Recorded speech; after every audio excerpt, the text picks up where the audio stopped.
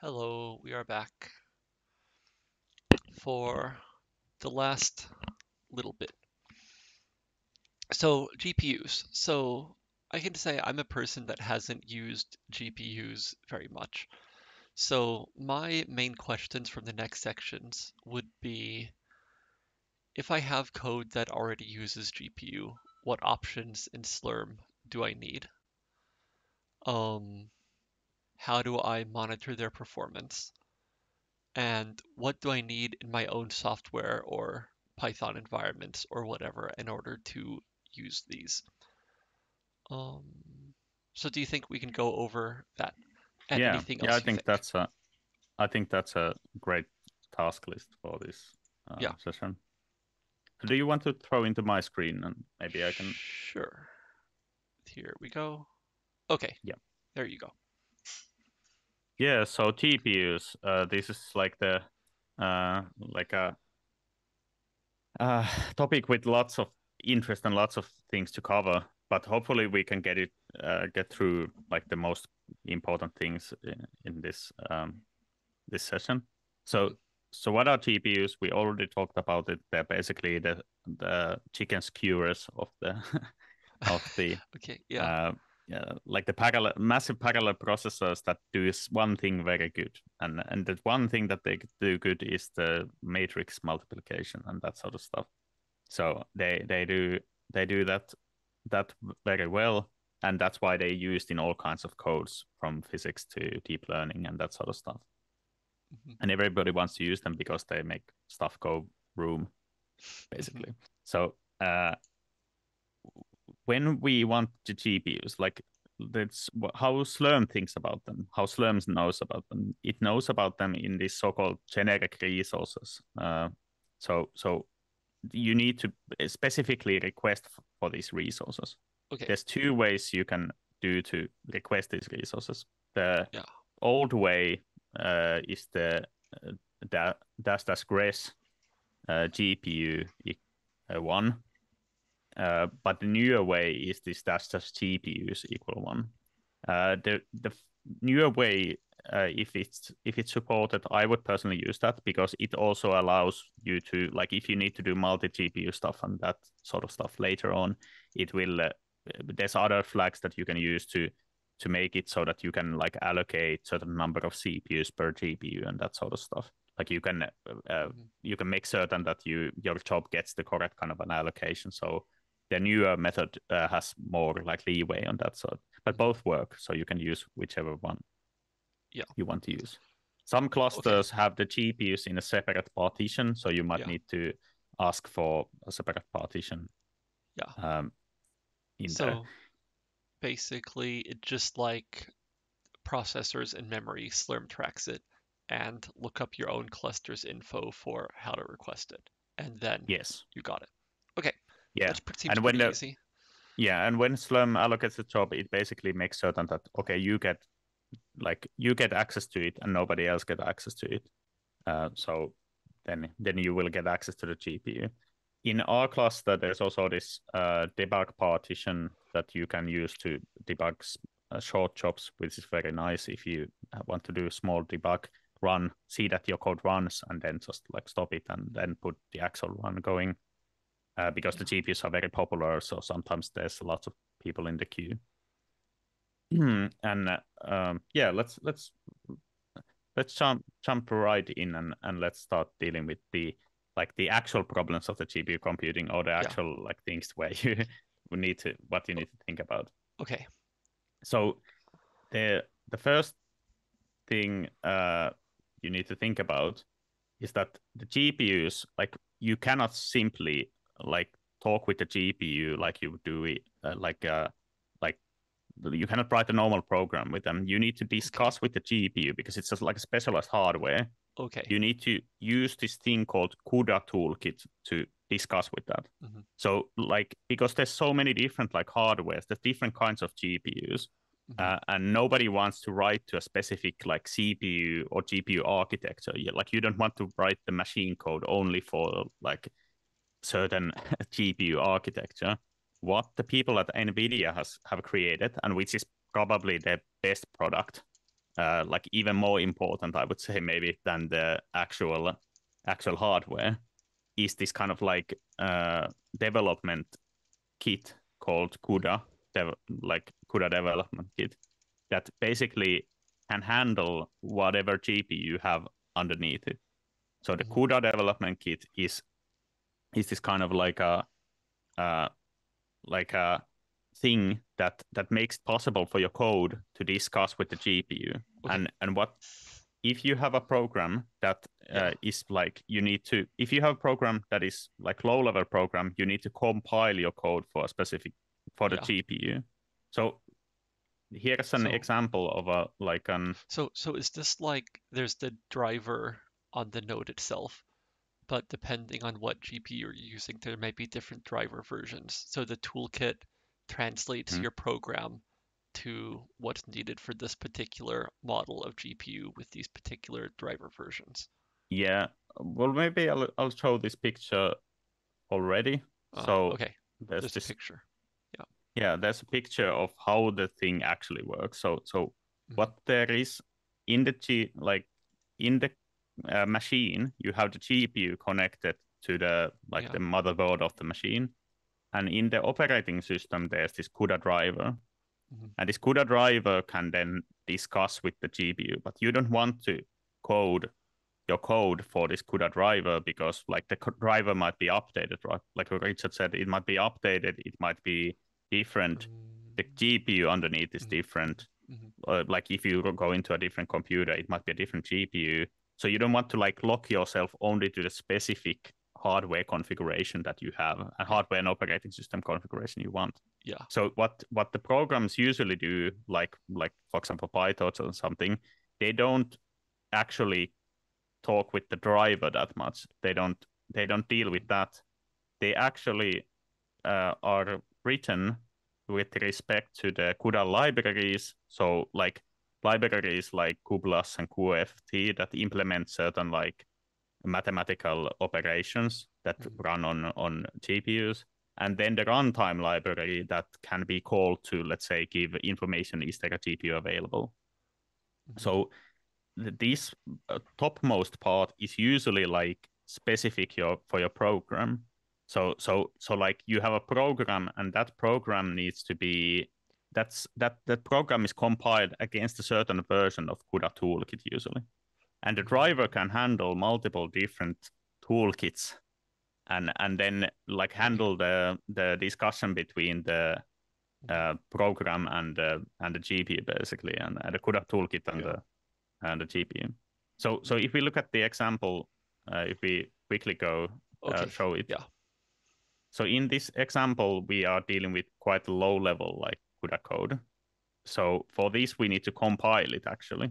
Okay. So for the compilation, I need to uh, load certain modules, so a compiler and a CUDA toolkit. So this CUDA toolkit, like I'm now in the uh, in the uh, login node of of the cluster. So this doesn't have a GPU available, but I have Okay. a CUDA toolkit, so I can compile my code with respect to this CUDA toolkit. so it's Ah, okay. it- yeah. it's yeah. mhm, linking to that. mhm. And for that, and and for because there's no GPU available, I need to tell my my compilation that I need it to to work with different kinds of GPU architectures. So I need to give this kind of a monstrosity of a command that okay, build build my code so that it runs on these different kinds of GPU architectures. Yeah. So so this is the kind of stuff that usually happens like that somebody else has done for you. Okay, yeah. Usually you don't have to like write these kinds Okay. of commands. Yeah, that's a pretty Uh, crazy hopefully. long line. Yeah. Like you can uh, there, there's a, a link to article about this. Well, what are these architectures? Uh, that is great article that I always use as a reference, Yeah. like to to check which GPUs these uh, architectures like. Mhm. What well what Okay. what yeah. do they mean so now that we have the program like we have this compiled py.gpu yeah. we can run it with the gpu so basically what i'm asking is one gpu and and then we can run it Okay. Yeah. and and it's in the queue and it's done and it's done basically instantaneously. Yeah. And because GPUs are so fast, so this number is pretty similar that we run with the CPUs. So let's add like few zeros here Okay, yeah. and let's run it with the GPU and it's basically done. That's so, still instant, basically. yeah, it's basically like instant. So this Yeah. this is like hu- a lot faster than the Python code that we Mm-hmm. previously run. Uh, like in order to get like actual some runtime, well, we need to add more zeros. Yeah. Um, but but this is a lot of work, right? Like the the Mhm. compilation and that sort of like writing the code as as this kind of like C code, Yeah. and then writing the the co- like the dealing with the CUDA and, and most of the Mhm. programs that use GPUs don't do this. They are built against a certain version of CUDA toolkit, Yeah. and then we just like Like they come Uh, from whoever else provides them. They're Yeah, built against yeah. a certain version. Okay, yeah. yes. Uh, so let's say we have this now this program. The second question you asked at the start of this session was uh, how to do monitoring.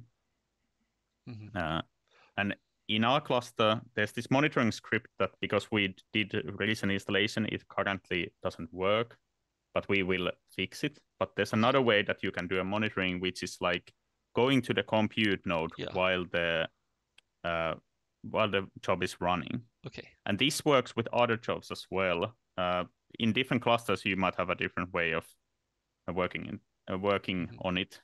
I'll add few zeros here so that it actually runs Okay. uh, a bit longer.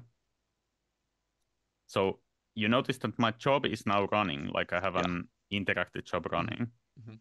Uh, I'll open a new terminal and I can use the Slurm queue to check where which node it is running in. Yeah. And while the job is running, I'm allowed to go there. And what happens is that I'm basically going to the same reservation. So. I'm using the same resources. So if I start new programs there, Yeah. they're basically taking resources away from the the, uh, the program that is uh, that Ah, I'm currently running in the Yeah. queue.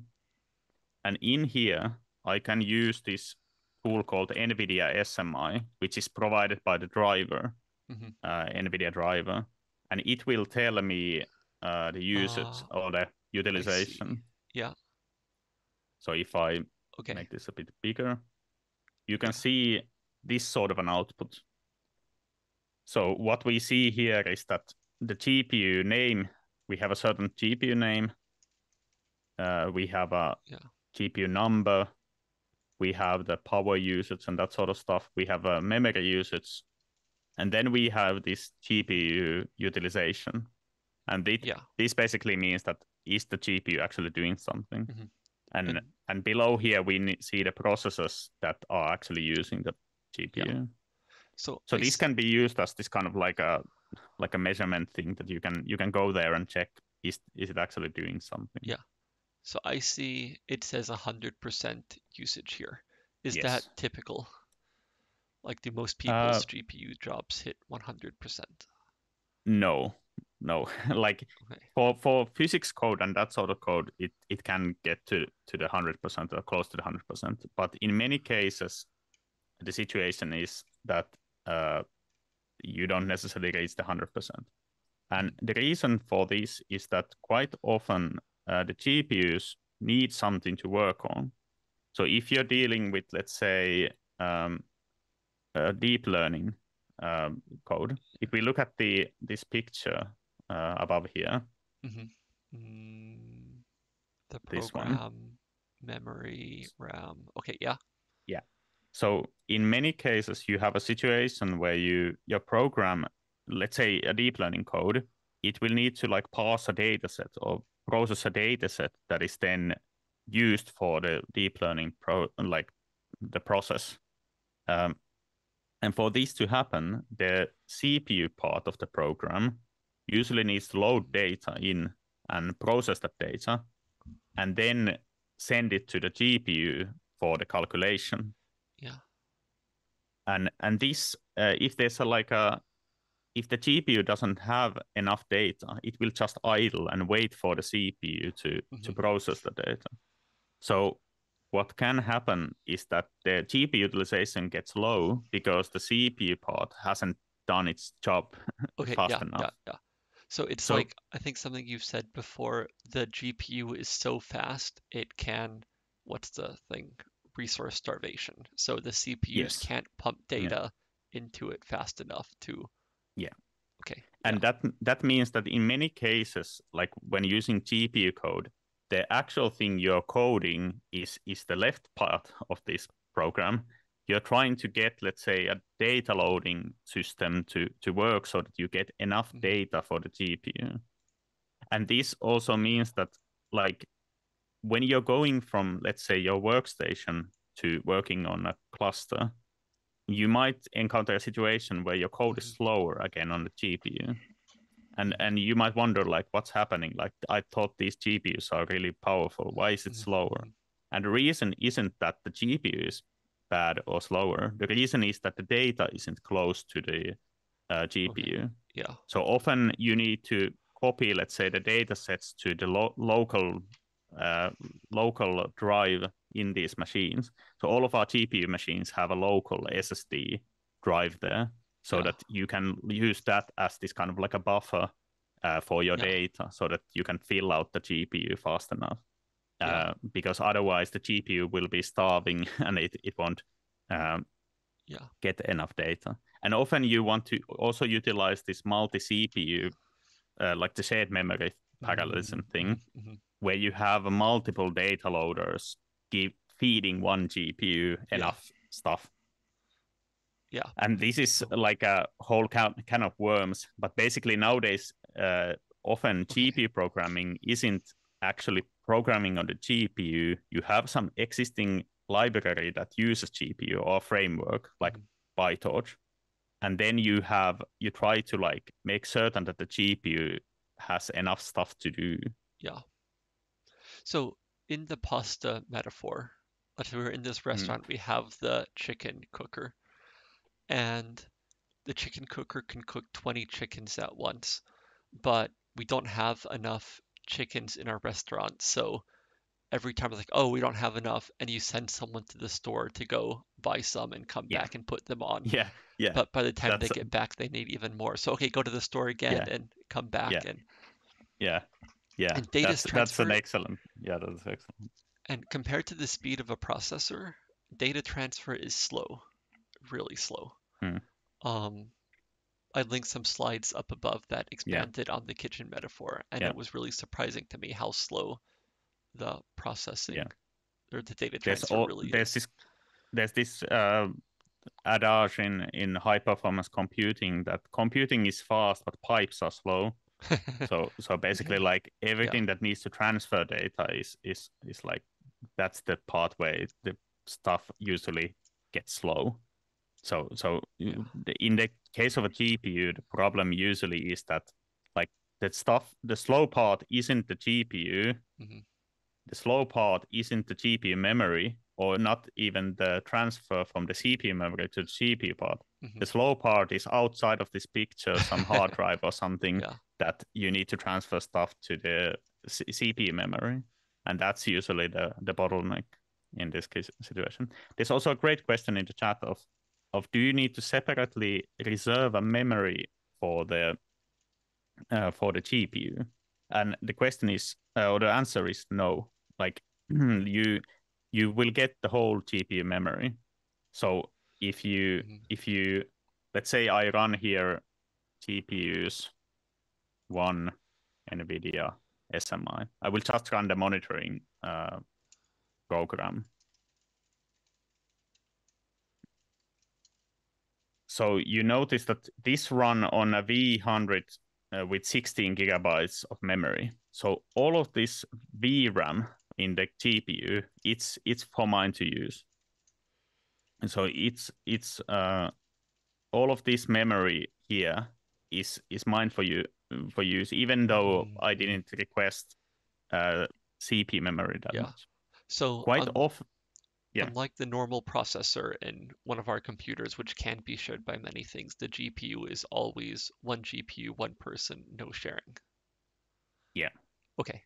and and Yeah. also I will mention that like quite often you still need to reserve hmm quite a bit of memory because for example in order to load like a like a large language model or something, Mhm. you need to first load it from the disk, load it into the memory, and then give it to the GPU memory.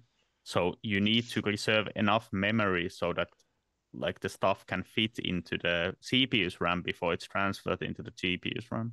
Mhm. And and when it the, these memory considerations are quite important when it comes to these big models, or if you want to do like large data, lots of uh, large data processing, you need more and more memory. And many of these, like large language models, for example, they might require so much memory that they don't fit into one GPU. Mhm, So you mhm, you mhm. have to use multiple GPUs to to Okay. run those. Yeah.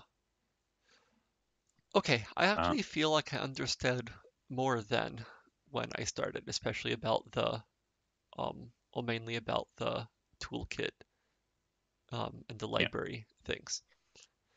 There's also Okay. one excellent question that can you get an interactive session on a GPU? And, and the answer is in principle, yes, but I would highly recommend not doing that. The first thing is that for the reason that the GPUs are very like important for for many like calculations, are they're very expensive.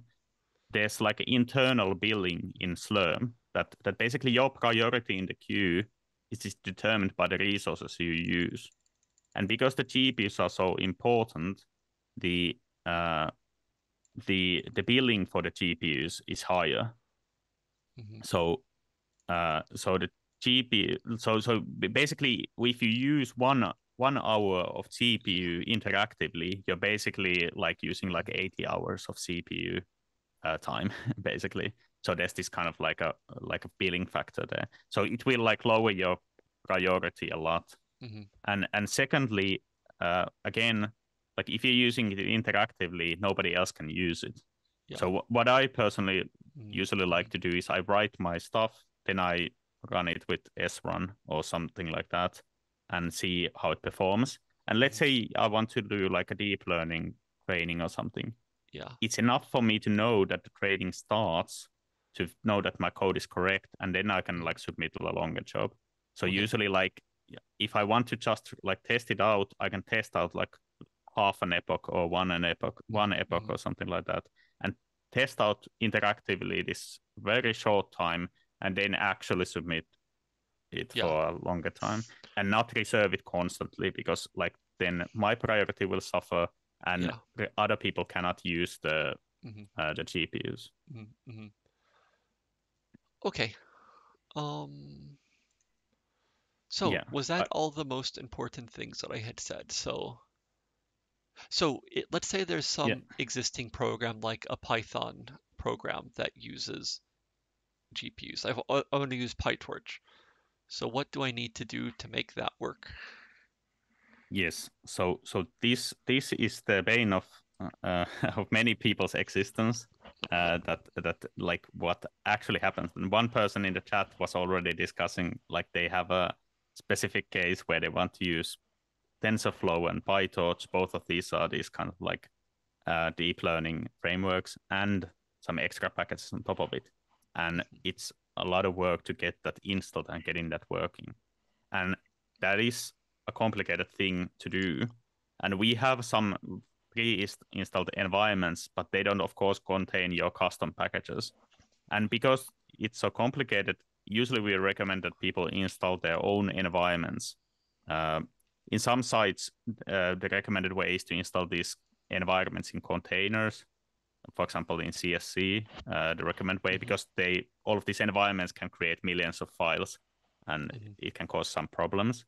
But but the recommended way usually is to use these like um, so we exam we for example recommend using Conda a lot, which is this kind of like framework that can provide already installed, already compiled binaries for you easily. So And yeah, there's a Yeah. question here. So every time we want to use GPUs, we first need to load module load GCC CUDA. But with Yeah. Python or things, you don't need to. yes, that uh, yeah, and this meaning brings you don't. Yes. Okay. So so if you want to use GPUs and you want to compile yourself, you need to Mhm. take the like the devel- load the development kit. So basically, these parts, this this is provided by the module load CUDA. It Yeah. provides this part, and then you can create your program uh, with respect to these. Mhm. But but if you have an already existing program, let's say PyTorch or framework like PyTorch and or Mhm. TensorFlow, what you want to do is that you want to install the program and you want that program to decide, okay, I want the the CUDA toolkit that that I've been compiled against. So it Mhm. instead of going from bottom up, you go from top to bottom.